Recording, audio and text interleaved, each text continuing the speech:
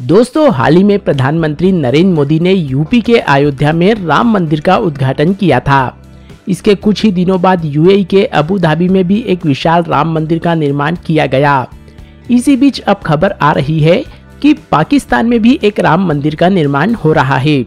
हालाँकि ये अयोध्या या अबू धाबी की तरह भव्य नहीं है, लेकिन ये मंदिर पाकिस्तान के अल्पसंख्यक हिंदुओं के लिए काफ़ी अहमियत रखता है।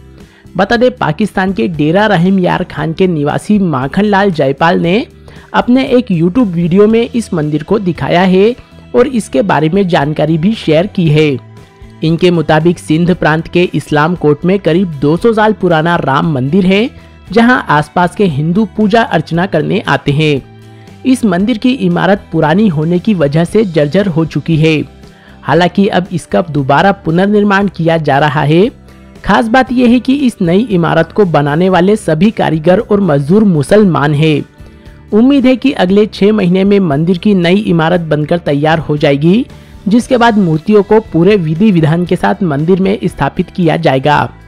आपको बता दें कि पाकिस्तान में आज़ादी के पहले से ही कई मंदिर मौजूद है, लेकिन मेंटेनेंस न होने के कारण इनकी हालत जर्जर हो चुकी है।